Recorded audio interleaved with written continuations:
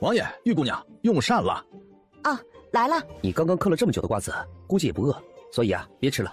嗯，不是今天，是两天。王爷，属下没做错什么事吧？哼，本王说你错了，你就错了。嘿，王爷，要不然打板子吧。知道王爷为何不让你吃饭吗？不知道。王爷和玉离姑娘刚刚含情脉脉对视，王爷可能还想要做些什么，你跑出来没有眼色的喊吃饭，哼，你坏了王爷的好事。兄弟，你就认了吧。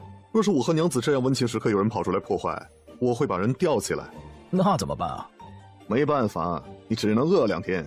今天老程做了好几条鱼，还做了醉鸡，你都没口福。嘿，程如，你给我等着，以后有你求我的时候，哼。现在我不用求你，所以我先把如今的小日子过好，要求你的时候再说。这是父皇留给朕的东西，和死库里的东西一起不见了，如今却出现在一个小镇子的当铺里。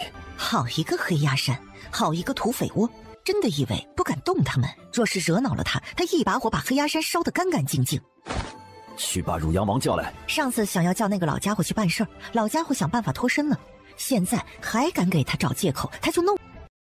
汝阳王进宫一趟就接到圣旨，带兵去剿匪，目标地黑鸦山。回到王府就发现自家王妃收拾包袱想要跑路，他好不容易才把人逮回来，现在小皇帝却要自己带兵去剿匪。想到这里，他真的恨死那些土匪了，居然在这个时候出来闹事儿。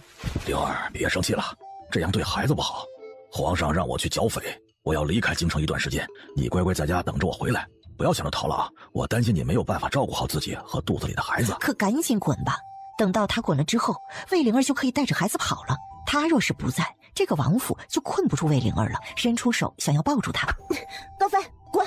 我说过不要和你做夫妻了，我也说过我们一刀两断。